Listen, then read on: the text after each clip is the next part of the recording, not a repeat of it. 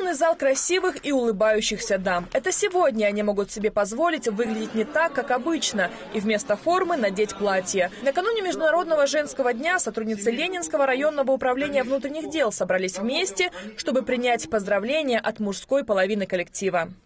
Я от всей души поздравляю всех девушек э, нашего коллектива управления внутренних дел и в целом всех девушек нашего района вот, э, с наступающим праздником, днем 8 марта. Желаю крепкого здоровья, семейного счастья, благополучия. Вот, всего самого наилучшего семьям, родным, близким. По расхожему мнению, женщины любят ушами. Наверное, поэтому мужчины читали милым дамам стихи и пели песни о любви. Тебе подарить,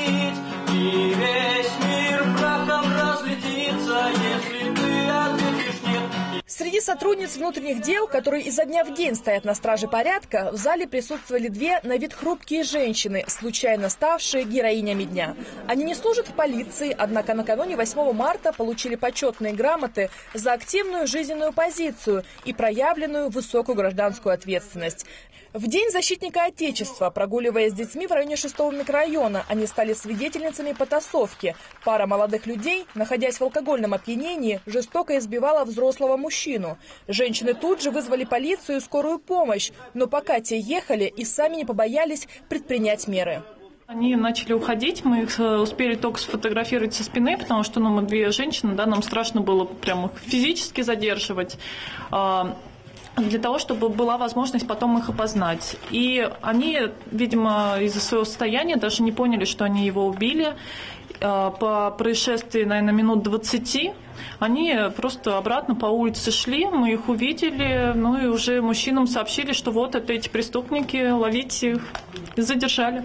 Таких бы женщин в наши ряды, говорят сотрудницы УВД. Но сами героини дня в полиции служить бы не хотели. Они обе счастливые жены и мамы. А вот не быть равнодушными к другим людям – их жизненный принцип. Мне, конечно, приятно, что нас поздравили, но жаль, что это по грустному поводу, да, а не более радостное какое-то событие. В будущем, если, не дай бог, конечно, будут такие подобные ситуации, также будете себя смело проявлять?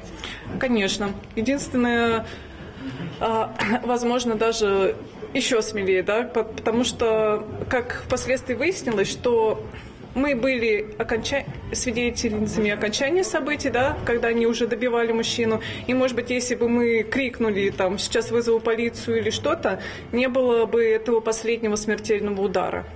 Поется в популярной песне «Сильная, смелая». Эти слова легко можно отнести не только к этим двум храбрым девушкам или сотрудницам внутренних дел, а к большей части женского населения нашей страны, которые заслуживают внимания и цветов не только 8 марта, а 365 дней в году.